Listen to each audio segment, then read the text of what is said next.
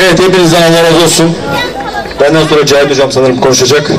Sağ olun, var olun. Bizleri hiçbir zaman için yalnız bırakmadın, bırakmadınız. İnşallah 30 Mart'ta bu işi koparacağız. Hepinize iyi yaşamlar diliyorum. Sağ olun, var olun.